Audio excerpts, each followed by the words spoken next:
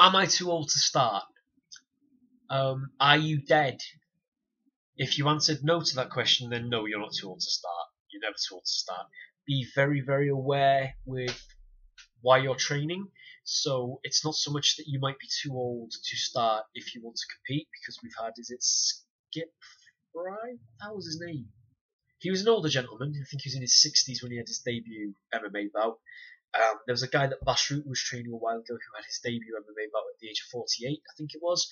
So you're not too old to get going. You're not too old to start training, whether it be an individual style of martial art or whether it be a combat sport, whether it be self-defense. You're never too old for self-defense.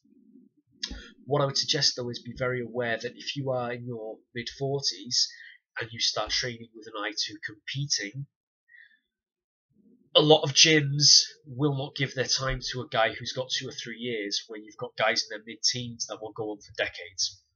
A lot of big companies, bigger companies, are not going to promote fight with a 48 or a 49 year old when they can promote fights with guys in their 20s that are going to get more money over the long run.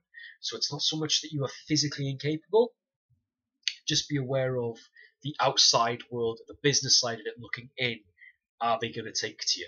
Again, if you're not looking to compete at the highest level, then fuck no, go for it.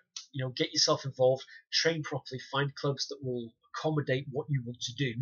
Because unfortunately, with a lot of combat sport gyms, it is one size fits all in terms of we train like this, we fight like this, we do this. It's not one size fits all at all. If you're just doing it for the sake of training because you want to get into it, then you're never too old. You're only ever too old if you if you're in the box. That's that's the truth.